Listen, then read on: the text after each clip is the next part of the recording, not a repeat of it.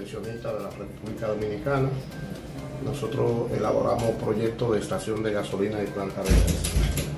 Eh, sucede, se ha dado una situación en el cabildo del ayuntamiento de aquí, de San Francisco de Macorís, donde yo le entregué un millón de pesos a un regidor para la aprobación de un proyecto de expendio de combustible y el plan regulador me canceló el proyecto, aún los regidores no resolviéndome la situación de la resolución, la no gestión de uso de suelo y también el cuerpo de bomberos de esta ciudad de San Francisco de Macorís.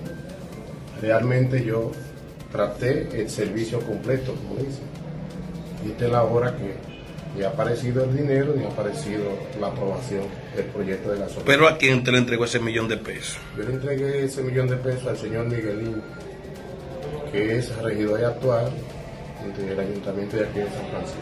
¿Qué le manifestó él para la entrega de ese dinero? Me manifestó que él, él era la persona que se encargaba de entregarme la resolución, la no gestión de uso de suelo, para yo continuar con la demás permisología que él entregó ese dinero a los demás regidores, a la presidenta del Consejo de Regidores y a los demás regidores. Eh, yo no lo conozco, pero según la información son personas honorables, serias, y yo dudo que él haya entregado ese dinero a esos regidores, porque hay de ellos que hasta enfermos están en la casa. En la casa. Tengo esa información, porque aquí al Ministerio Público hay que hablarles con pruebas para sustentar la palabra que usted está diciendo. Aquí no es la palabra de él contra la mía. Son los hechos. Yo cambié un millón de pesos en bancos de un cheque. Tengo las pruebas, ha presentado la prueba al Ministerio Público y eso no se puede quedar así. Porque si se queda así, nosotros estamos colaborando con. ¿Usted me está entendiendo?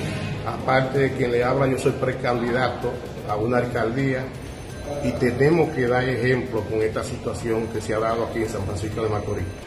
Eh, bien, pues sí, recientemente eh, la Fiscalía acaba de ser apoderada de una solicitud de investigación con respecto a unas imputaciones que hace un señor sobre una persona que desempeña funciones dentro del de, área del ayuntamiento municipal de San Francisco de Macorís. En ese orden, pues obviamente la Procuraduría Fiscal de Duarte, además en conjunto con la Procuraduría Especializada de ese tipo de delitos, ha iniciado la investigación de los hechos que establece el señor a los fines de verificar la ocurrencia de uno de los mismos y entonces pues proceder conforme a lo que determinan las pruebas.